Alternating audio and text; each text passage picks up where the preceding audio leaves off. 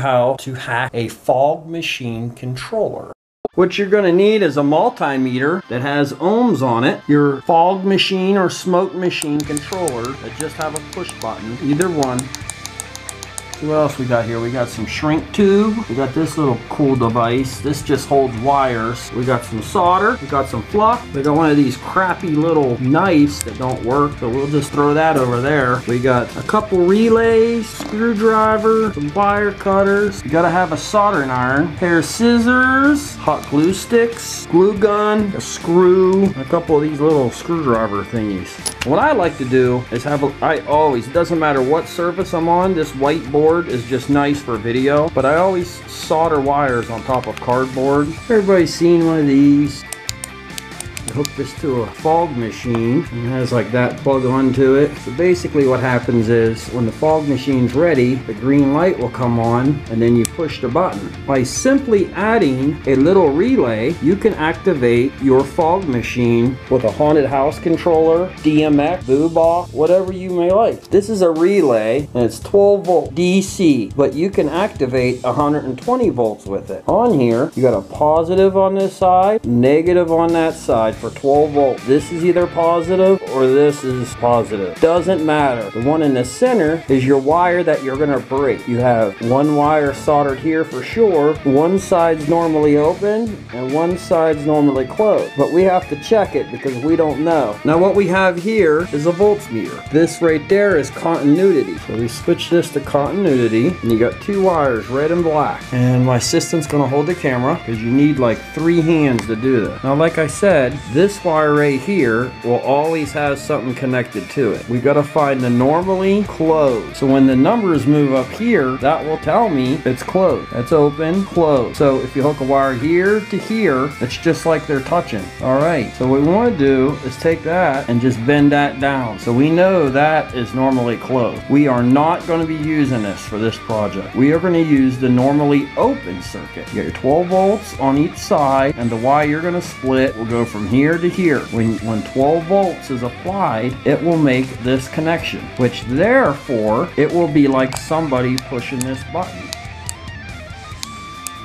So your fog machine will come on and activate when you use your haunted house prop controller or DMX. And what we're going to use for the 12 volt wire is just some simple, I believe this is 22 gauge wire. Doesn't have to be very thick because we're only putting 12 volts to here. First thing we have to do, I hate these ones. You take your wire strippers and split the two wires. You have a white wire and a bare wire. And you just take off a little bit on the end you have a little bit of wire showing. All right, grab one of your controllers has a button like that. And let's pop these screws out. So we just open this thing up. Makes a nice little holder. You stick this thing out of your way. So what we got here, and I am sure I don't have to tell you, make sure this ain't plugged into nothing. Don't have it plugged into your fog machine or any, because you could get electrocuted and die. And then somebody will use you in a prop in the haunted house. Okay, let's flip this over and look. We got a light and we got a switch. We flip it over, here's our switch wire, white and green. Them are the two wires we have to cut in, cut away. Now this is very tiny. I guess they really don't want you to do this. You take your little white wire, strip it back, your other white wire, strip it back, green wire, strip it back, strip back your other green wire. So what I'm gonna do is I'm gonna clip the black wire too. I just like clipping wires. I'm sure there's somebody at your haunt that loves cutting wires. I'm just gonna strip that back and make it a little bit better. So we'll be able to get some heat shrink tubes on there. Now we're gonna make this controller where you'll still have access to this button if you need to. And it's gonna have an override, which will be the relay. And you'll be able to connect it to one of your haunted house controllers or DMX systems or whatever you want. Once you got all your wires snipped, strip out the end. Now what we're gonna do is we're gonna put a little bit of solder on these wires. And we first use this flux. And this technique right here is called tinting your wire. So it's easier to solder, such real tiny. So you just take your your soldering iron and you just put a little bit on there. A little puddle on there, that's all you need. And all you have to do, touch that wire, see how it's silver now? Put a little bit more solder on there.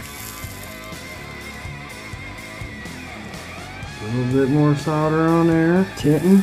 The wire. I'm sure this vetoes all manufacturer's warranties, so if you don't know how to do all this, don't do it. Okay, once you got your wires all tinted up, this is probably one of the most crucial parts. You don't forget to put your shrink tube on, and you wait for your wire to cool down before you put your shrink tube on or it will shrink. Now the black wire, we don't really need. We just wanted to strip it back so we had some more wire to work. So you have to kind of hold it with one hand and hold this with the other. And you take your soldering iron and you just touch these two. Hold it there. You can blow on it.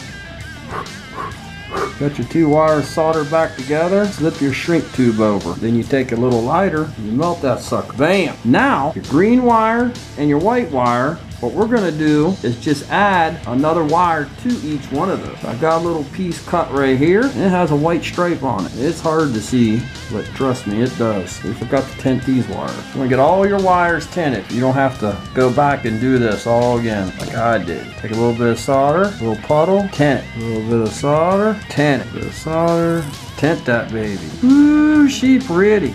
All right, so we're gonna work one wire at a time. We'll make sure it's all cool to the touch. Let's do this white wire first. You put your two little wires together like that, you get your shrink tube. You only need a little tiny piece. Put them together, bend them around each other. What we're gonna do is solder all those wires together right there. Now, that's where this tool comes in handy. So you can grab your wire like that, position it however you want it, and then you can just take this like that if you want, you can somehow grab this wire or whatever and hold it there. Or if you're talented, you just hold this with one hand like that and touch your soldering iron to there. And all those wires will be soldered together. You, come around here so you can see? Go around me. Make sure your soldering iron don't have any solder on it because you don't really don't need no solder because the, the wires already have solder on them. What you're going to do is touch it for a little bit. Make sure they're all connected. If you look at it really close, I don't know how good this focus is going to be, but you gotta trust me. They're all together. All three of those wires make one wire. So you wait till it cools down a little bit, slide that shrink tube right back over that connection. Don't do it while it's hot. You do it while it's hot, that shrink tube's gonna melt, and then you gotta start all over again. Just wait a couple seconds. Bam, that looks professional. Okay, same thing with the green wire. Let's bend her around here like this, off the grandma's house. Now I thought I tinted all this. I didn't tint that green one right there, so I gotta tint it. A little bit of solder. Mmm, a little bit more on there. Alright, you take your other wire, like so. You have to get this in focus and somehow, I don't know. Take your other wire, get your shrink tube. That piece might be a little too small. Shrink tube is pretty awesome you from using tape or anything else. You could hot glue it. I don't know if I'd really trust it that much. Pull that shrink tube far away from his where you're soldering as possible. Heat around shrink tube is bad. All right, let's put in the alligator clip. This one's gonna be a little bit of a pain in the butt. All we need to do is touch that all together. Here, come around the other side. Touch that all together, make it all hot, and make it all one. You don't want too much heat on it because you put too much heat on it, them wires gonna come back. That rubber around them wires, then you're gonna have to start all over again. Make sure it's cool to the touch. Pull that shrink tube right up over that wire. Take your lighter, shrink it. Shrink that baby. All right. So, now we got this controller still functionable here and all we did is solder two wires off of it. We're gonna get our relay. Remember I bent down that one, so we're not gonna use it. So we want a little, we want that center one, that one right there. This wire and this wire, and it doesn't matter. You can put the green one here, the white one here, or the white one here, and the green one here. Because all this is gonna do is when 12 volts is applied DC, it's gonna flip a switch in here and connect this one to that one. Take your flux and just dip, dip, dip. Get yourself some solder, tint it on it. Now you're gonna wanna use a little bit more solder when you're putting all this together. But you can use your little stand, alligator clip, roach clip, whatever you wanna call it. You can use a pair of pliers if you want. So you get a little bit more solder on your soldering iron. Take one of the wires. There you go. There you go. Hold it there, blow on it. Done. You take your other wire, put it here. Get in the right spot. It'll take a couple minutes. Don't be in a rush. Now your your soldering irons get pretty hot, so you might want to use a holder or something. I'm just used to doing this like this. So now we got a circuit. So when 12 volts is applied to here, it will push that button basically. So now what we would do is add two wires here for one for positive, one for negative. Take your piece of wire, strip it back some. I really like doing this stuff. I love electronics, I love haunted houses. First haunted house I ever worked at was one in some guy up in Cleveland or Canton. I forget his name. But he had a haunted castle. And what it was was shipping containers. And the way that he put all the shipping containers together, it made a haunted house. I don't know if he's still in business, he sold it, or what. Actually, when I was five or six, my brother and my sister would do a haunted house in my father's garage. Like every Halloween. They made pretty good money at it. They just did it for the neighborhood. Charged like a couple bucks to get in or something like that. I was always the kid that had the, um, my throat sliced. Every year they'd put me under a swimming pool. When people would come in, like one of those little plastic swimming pools, and people would walk in, and I'd hear them, I'd flip up the swimming pool with my sliced neck. Scare the hell out of them. Little kids scare people bad. Alright. So do a little tug test. So this is your wire right here that you're going to run to your haunt controller or to a 12 volt adapter or to another button where you push it and make a connection. No, you can't do that on this, so. This needs to go to 12 volts. This wire will go to your 12 volts for your haunt controller. Or you can hook it to an adapter and plug it in the wall or use it on a DMX dimmer pack. So now, how are we going to stick all this in here and make it look all neat and pretty and everything? This is how you're going to do it. Take yourself a screwdriver. I don't know how long you have to heat it up for. I just like to get it hot. Then you take it and just poke a hole. You could use a drill bit and make it a little bit more prettier if you wanted. I got the ceiling fan on. We've been having some really nice warm days here in Ohio. Or if you have like a little blowtorch around or something, but you don't want to heat up too much and burn your hand holding the screwdriver. There you go. Poke a little hole through it like that. Do it however you want. There ain't no rules to this. What I like to do is take this wire and tie it in a knot. So if somebody accidentally trips over it or yanks on it or nothing, it's not going to rip this whole this controller apart. Tie that in a knot, just like that. You take your other end, put it through your hole.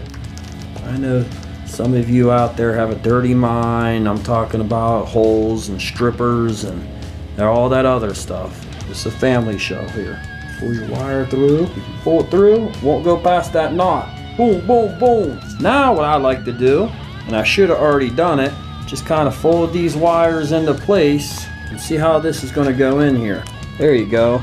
Now what I like to do before I glue anything in there or, or seal it up or anything, what I do is I take a 12 volt adapter I have the wire stripped. I have one laying around. Just a red wire and a white wire. And I'll tie the red one on. This is 12 volts. DC won't hurt you. 110 will. Now get, get, closer so you can hear that clicking. And when you touch this, that sound you're hearing Closing, open, closing, open, closing, open. Now to see if this works right, still have your continuity tester. Continuity or whatever, however you say it.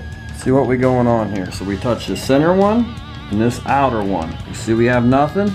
Now, if we connect this wire right here, and you hear that little click, that means it turned on. Watch that number.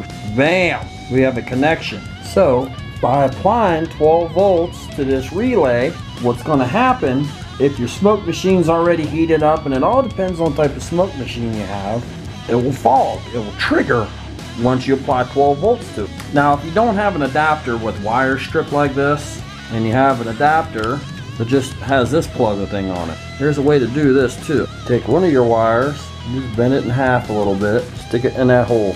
And the alligator clip's hooked to this metal, which is all connected to this. Then you can just take your alligator clip and get closer. You hear that? This is your ground on the outside, and on the inside, you're positive. Then you check your continuity again. Yep, it works. Undo it, check it. Oh, it's off. So now you get all that stuff out of the way. You get your hot glue gun. Pull your little thing out. Unplug your 12 volt adapter. Get it all the way. Get the 110 volt wire out of the way. Get yourself a glue stick, glue gun. Just give it a little squirt down in there. See it? This little puddle. Just stick that relay right in that that that liquid, that liquid glue until it dries. Make sure it's not going to be hitting anything. You'll be able to put this back. Now you're going to have to hold your relay still for a little bit until that glue dries. Kind of blow on it. I know I'm hired for the job. I know all the jokes. I've heard them all. All right, you're going to be holding this thing for a little while. Is the magic of filmmaking. I just turned the damn camera off. After you're all done with that, just squirt some hot glue over them bare wires. Don't have to be all fancy. That's just in case somebody opens this up and don't know what the hell this is and you know. Should have one person on your team that loves doing this. So now we just take this and put it back together. Make sure no wires are sticking out. Sometimes one wire wants to just give you a little trouble. What I do is I screw them in a little bit, each one. Take a look all around it, make sure it's all closed up, then screw it shut tight. And that, my friends, is now a hacked controller. And all you do is you plug this into your smoke machine, and say if you have a timer, because you can buy these with timer, or you can go to eBay and buy a simple little timer for uh, five bucks or less. Or you can hook this up to your haunted house prop controller. The ones we use are uh, Fright Props. A little expensive, but they really do the job and they've held up for three years now, so we're really proud of them. But there's so many out there. You can look and people tell you different things. All you need is 12 volt positive, 12 volt negative. Once your fog machine heats up, activate your controller and your smoke machine will come on exactly when you want it to come on. Like I said, it doesn't work every single time depending on how fast the groups are coming in, how long, how much smoke you're blowing, how long it takes for your fog machine to heat up. There's a lot of variables there. But you can use this basically on just about any fog machine on the market as far as the ones I saw. So hope you enjoy and I don't have a fog machine to show you this but I will next Saturday and I'll demonstrate it for you so you can all see how it works with a uh, haunted house controller. Alright, have a good evening guys. Stay haunting.